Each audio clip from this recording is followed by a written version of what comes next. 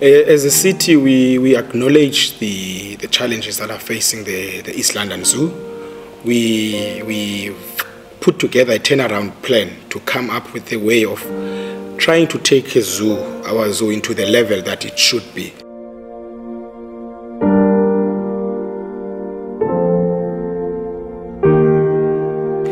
Ideally, we would want to see a zoo that we are all proud of, and that is a zoo that the city can pride itself as within the national standards of what it used to be. We've, we've appointed managers to actually come in and, and, look into the situation, and thus far we've identified four areas. Uh, the issues of security around vandalism is one issue.